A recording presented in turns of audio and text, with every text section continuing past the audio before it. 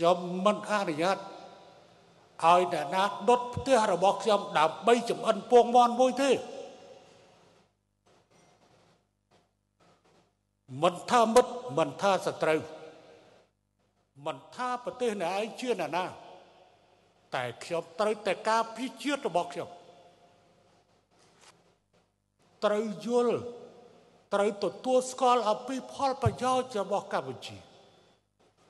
ប៉ុន្តែអ្វីដែលសំខាន់ជាងនេះខ្ញុំត្រូវការយល់និងការគ្រប់គ្រងពីប្រជាជនកម្ពុជាឲ្យคล้ายទៅជាចលនាជាតិដើម្បីគ្រប់គ្រងការសម្រេចបាននៅព្រៃជីកហ្វូណតដេជោរបស់យើង